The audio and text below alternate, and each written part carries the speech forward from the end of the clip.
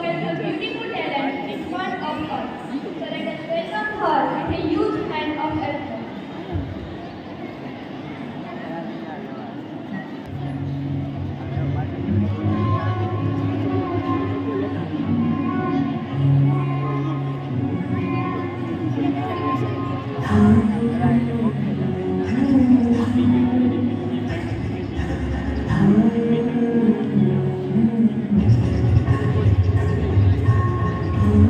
Gracias.